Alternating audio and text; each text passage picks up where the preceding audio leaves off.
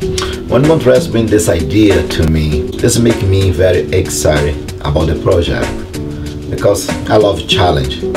And there, this idea is, I think it's brilliant idea. And um, I already think, you know what, I want to be part of that. I say, you know what, I think I can do this. There's a lot of details. We have to be responsible for what we do for our customers. But I got the challenge and we did it so I like the customer come and feel very comfortable.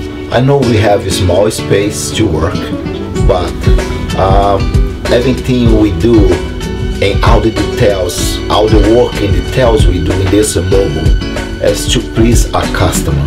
In my whole life, everything I do, a new project, new idea, it's very pleasure for me because I try very hard to do my best.